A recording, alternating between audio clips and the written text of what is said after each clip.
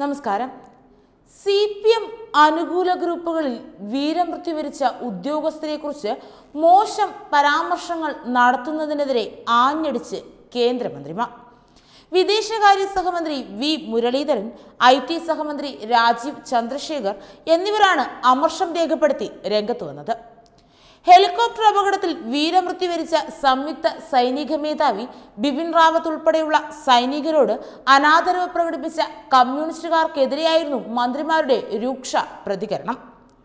അതേസമയം ബിപിൻ റാവത്തിന്റെ വിയോഗത്തിന് പിന്നാലെ അദ്ദേഹത്തെ സമൂഹ മാധ്യമങ്ങളിലൂടെ അപമാനിച്ച് കേരള സർക്കാർ പ്ലീഡർ രശ്മിത രാമചന്ദ്രൻ ഉൾപ്പെടെ രംഗത്ത് വന്നിരുന്നു. ജനറൽ ബിപിൻ റാവത്തിനെയും മറ്റ് സൈനികരെയും അപമാനിച്ച കമ്മ്യൂണിസ്റ്റ് പാർട്ടിയുടെ നടപടി അത്യന്തം ഖേദകരമാണെന്ന് കേന്ദ്രമന്ത്രി രാജീവ് ചന്ദ്രശേഖർ പറഞ്ഞു. ഇടതുപക്ഷം പ്രോത്സാഹിപ്പിച്ച പ്രോത്സാഹിപ്പിച്ചുകൊണ്ടിരിക്കുന്ന രാഷ്ട്രീയ സംസ്കാരം എന്താണെന്നാണ് ഇത് വ്യക്തമാക്കുന്നത്. സൈനികരുടെ വിയോഗത്തിൽ രാജ്യത്തിനുണ്ടായ ദുഃഖം നാം കണ്ടതാണ്. ബിപിൻ റാവത്ത് രാജ്യത്തിന് വേണ്ടി നൽകിയ സംഭാവനകളിൽ ആർക്കും സംശയമില്ല. എങ്കിലും കേരളത്തിലെ ചില രാഷ്ട്രീയ പ്രവർത്തകർ നടത്തിയ പരാമർശങ്ങൾ രാജ്യത്തെ നിന്ദിക്കുന്നതാണെന്നും ഐ ടി സഹമന്ത്രി രാജീവ് ചന്ദ്രശേഖർ വ്യക്തമാക്കി. അദ്ദേഹത്തിന്റെ വാക്കുകൾ ഇങ്ങനെയായിരുന്നു. ബിപിൻ റാവത്തിനെതിരെ ചിലർ നടത്തിയ പരാമർശങ്ങൾ ഉണ്ടാകാൻ പാടില്ലാത്തതാണ്. ജനങ്ങൾ ഇതിന് ശ്രദ്ധ കൊടുക്കരുത്. കേരളത്തിൽ നിന്നും നിരവധി പേരാണ് സേനയിൽ ചേർന്ന് രാജ്യത്തിനായി ജീവൻ ബലി നൽകിയത് നിരവധി കുടുംബങ്ങളാണ് അവരുടെ മക്കളെ രാജ്യത്തിന് നൽകിയത്.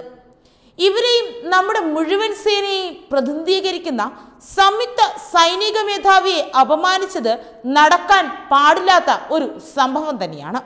രാജ്യത്തോടും സൈനികരോടുമുള്ള സി പി എമ്മിന്റെ നിലപാടാണ് ചോദ്യം ചെയ്യപ്പെടുന്നതെന്നും ആയിരത്തി തൊള്ളായിരത്തി അറുപത്തിയഞ്ചിൽ ഉപപ്രധാനമന്ത്രിയായിരുന്ന ഗുൽസാരി ലാൽ നന്ദ നടത്തിയ പരാമർശം ഇന്നത്തെ സാഹചര്യത്തിൽ ഉചിതമാണ്. കമ്മ്യൂണിസ്റ്റുകാർ ഇന്ത്യക്കാരാണ്. എന്നാൽ ഇന്ത്യയോട് സ്നേഹമില്ലെന്നായിരുന്നു അദ്ദേഹം പറഞ്ഞതെന്നും മന്ത്രി തുറന്നടിച്ചു. എന്നാൽ നമ്മുടെ രാജ്യത്തിന്റെ ദേശീയത സംരക്ഷിക്കുന്നതിനായുള്ള എല്ലാ പ്രവർത്തനങ്ങളോടും സി പി എമ്മിന് എതിർപ്പാണെന്ന് കേന്ദ്രമന്ത്രി വി മുരളീധരനും പ്രതികരിച്ചു. കേരളത്തിൽ നിന്നും ഹെലികോപ്റ്റർ അപകടം നടന്ന കോയമ്പത്തൂരിലേക്ക് വലിയ ദൂരമില്ല.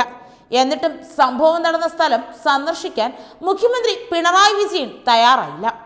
എന്നാൽ വിവരം അറിഞ്ഞ ഉടൻ തന്നെ തമിഴ്നാട് മുഖ്യമന്ത്രി സ്റ്റാലിൻ അവിടേക്ക് എത്തിയിരുന്നു. കേരള മുഖ്യമന്ത്രിയാണ് ആദ്യം എത്തേണ്ടിയിരുന്നത്. എന്നാൽ മുഖ്യമന്ത്രി അതിന് തയ്യാറായില്ലെന്നും മുരളീധരൻ തുറന്നടിച്ചു.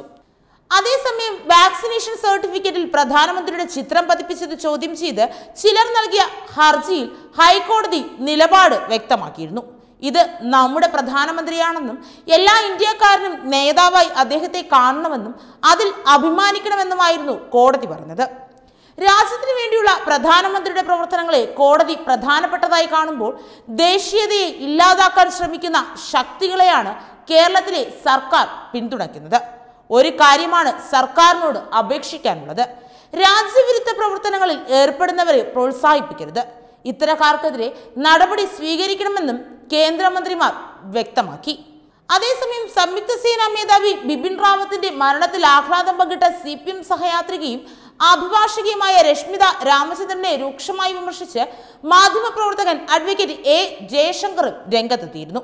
സുഡാപ്പി മൗദൂദികളുടെ കയ്യടി കിട്ടാൻ ഫേസ്ബുക്ക് പോസ്റ്റിലിടുന്ന ക്ഷുദ്രജീവികളായ സാംസ്കാരിക നായികമാരെ മുക്കാലിയിൽ കെട്ടിയടിക്കണമെന്ന് ജയശങ്കർ ഫേസ്ബുക്ക് പോസ്റ്റിൽ പറഞ്ഞിരുന്നു. ഇന്ത്യൻ സേനാനായകൻ അപകടത്തിൽ മരിക്കുമ്പോൾ പാകിസ്ഥാൻകാർ ആഹ്ലാദിക്കുന്നത് സ്വാഭാവികം. കാശ്മീർ സ്വാതന്ത്ര്യവാദികളുടെ സന്തോഷവും മനസ്സിലാക്കാം.